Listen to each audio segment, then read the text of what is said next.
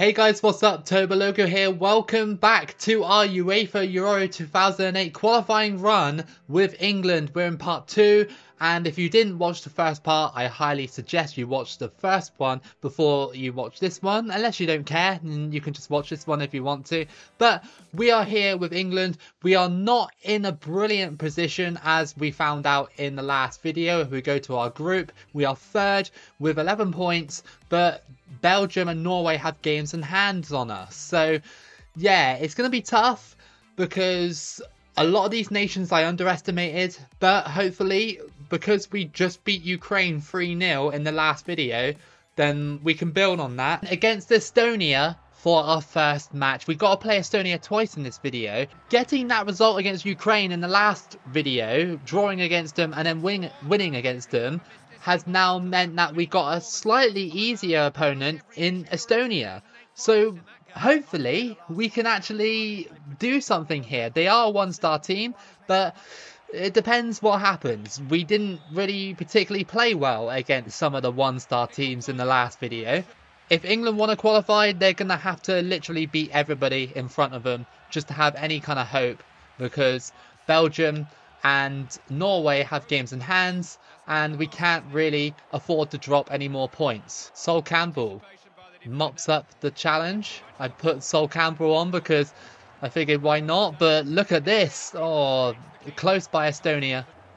We're having the same game as we did against the Faroes, where we can't seem to get our rhythm in front of goal because Estonia are being stingy. I mean, fair play to them, but we are just absolutely shocking in front of net. Crossed in by Estonia, and that was a let off. That was an awful header by Estonia, and yet again, England are struggling. Struggling again. Is there a chance? No, of course not.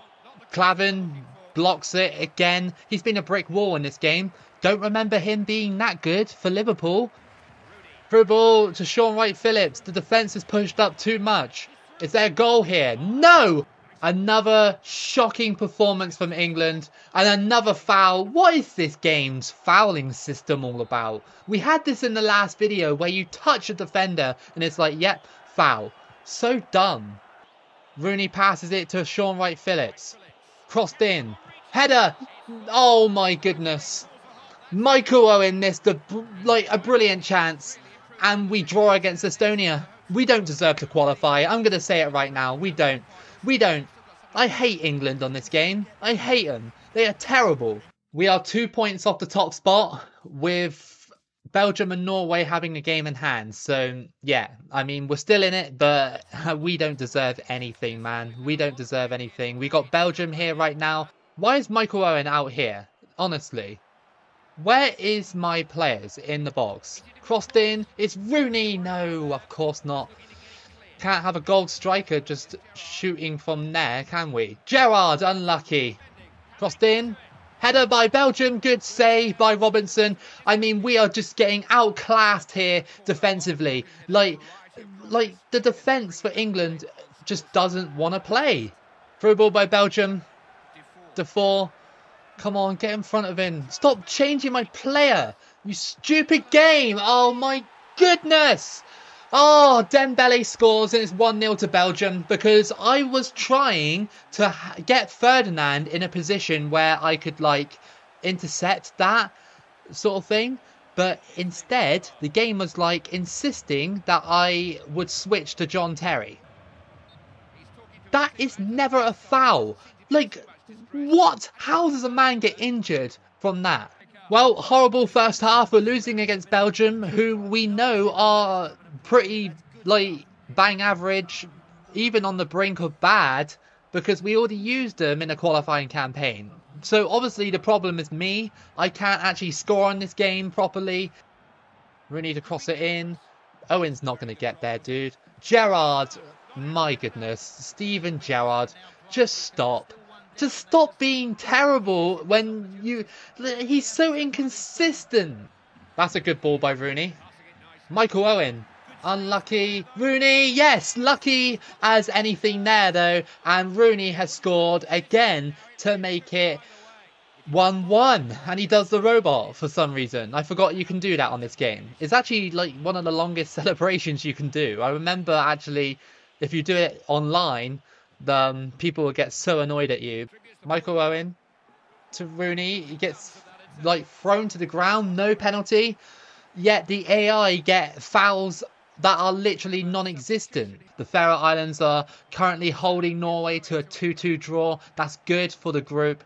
That means if I come away here with a draw, it means that we'll be in within one point, I think, of no two points still. Sorry. Well, uh, quite frankly, another terrible result for England and perhaps Belgium as well, because Belgium are way better than us in this qualifying group, and yet we drew against them. But England have just been terrible. Another draw. And honestly, I don't even want to qualify anymore. I don't because I don't want to have the hassle of doing another gameplay with England. Currently, we are three points behind Belgium, but Norway have a game in hand, so Norway could top the group if they win their next match. So we have got Malta next, and a opponent that we did beat last time, but we did struggle in the first half into the middle, and yes, that's a goal. Who was that? I think it was Joe Cole with that goal, and that's 1-0 to England. A nice sweat goal. I didn't think it would actually like work out, but it did. And we're 1-0 up in the 14th minute. This is more like it. Through ball to Rooney. It's Rooney down to Crouch, and that is a second goal for England, and it's 2-0. Two little sweat goals, but I don't care. I need a result here. Just needs something to get the confidence back in this side. Half time, 2 0 up. And uh, yeah, not really much to say. It's against Malta, so we should be winning it. Peter Crouch, yes! Come on! That was a good ball by Rooney, and Peter Crouch has scored another one to make it 3 0. I mean, England can do this against Malta, but not against Estonia? It just doesn't make any sense. Running. There's no chance you're going to catch up Rooney. No. Into the box. It's Gerrard. Yes, that's number four for England. And that is game over. 100%. Steven Gerrard slots it in. And he's been alright in this one. Inconsistent in the whole qualifying campaign. But yeah, he's been alright in this one. Rooney has been exceptional though throughout the entire like campaign. And you know, his goals and assists are essentially carrying England. Joe Cole, he's literally sped his way through everybody. Insane solo run to score that, and that's five. Joe Cole has scored another one for England, and it's 5 0. 69th minute in, and that was an insane solo run to take it off two defenders and just do that. Incredible run. That's going to be game over. England win 5 0 against Malta. This is the results we actually need. Not like stupid 1 nils and stuff against minnows. 5 0 is the standard for England against sides like this. Okay, so we've got a few more games to play, and uh, England are still sat in third, but we're level on uh, games played with everybody, and we are three points behind Belgium, one point behind Norway. So if Belgium or Norway slip up, which I'm hoping they will, then England will go through if England can just finish off against the Faroe Islands, Estonia, or Norway in their last matches. We have got the Faroe Islands away from home for this match. The last time we played them, they gave us a super, super frustrating game. So can we actually beat them convincingly here like we did against Malta? Is there a chance? It's crossed in. Rooney, oh, over the bar, unlucky.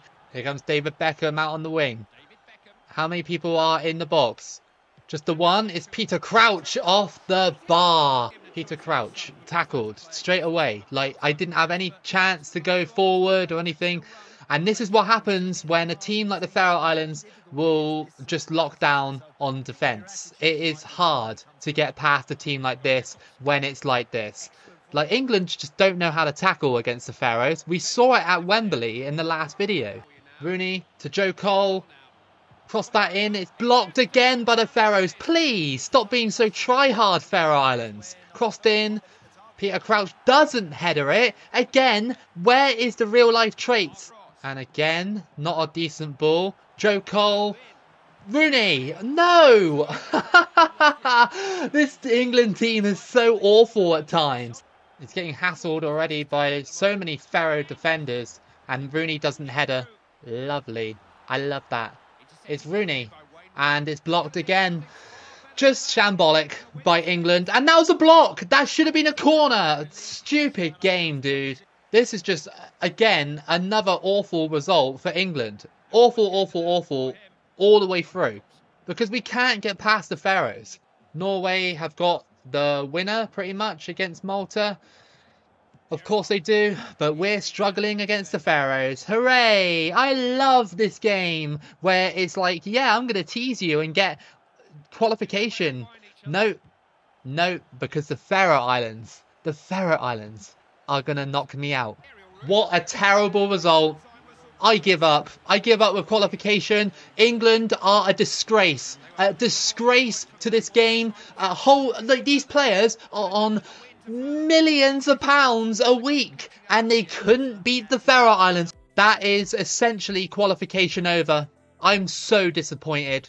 I am so disappointed, man. Because how do you even drop points against the Faroes like that? Look at this. We're three points behind Norway.